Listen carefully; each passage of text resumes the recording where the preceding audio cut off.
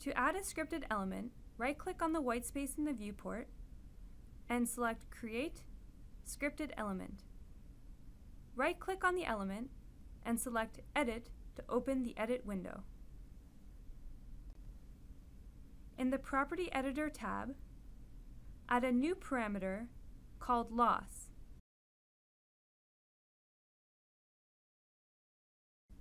Set kind to waveguide loss and set the value to 3 decibels per meter for now. Under the Ports tab, add two ports for the input and output ports of the waveguide. Set the properties type to bidirectional, data to optical signal, position to left for port 1 and right for port 2, and location 0.5. Next, under the Simulation tab, we can add a setup script. You'll notice that there are four subtabs here where scripts can be added.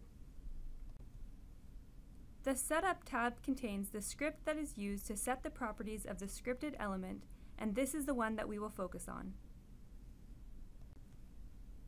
The remaining tabs are for more advanced usage, which we won't cover here, but you can find information about on our knowledge base. I have a setup script here that was discussed in the previous unit pre-written, and I will paste it into the setup script box. In this script, we are setting the absorption using the loss property that we added in the Property Editor tab. In the setup script, we can only access properties that are defined in the Property Editor tab of the element. Since the ports have been set to bidirectional, we need to specify the S parameter for both port 1 to port 2, as well as port 2 to port 1.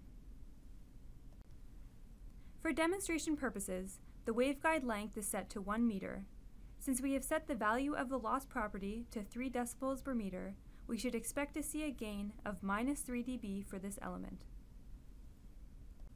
We can use the Test button to make sure there are no errors within the script. Click OK to close the scripted element edit window and add an ONA to test the element. Connect the ONA to the element and click the Run button. Then, plot the gain result from the ONA. We see that the gain is minus 3 dB, as expected. Now that we are familiar with how to create custom models, we can use custom models to build compact model libraries.